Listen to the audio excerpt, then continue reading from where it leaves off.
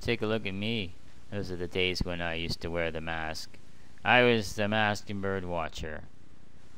First thing I saw on this day was, well, it was a osprey, and it was being really harassed by a red-winged blackbird.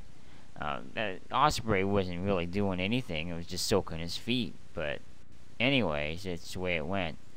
Next thing I happened to come across was this little group of chicks, and the mother was also following them as they went over the boondock.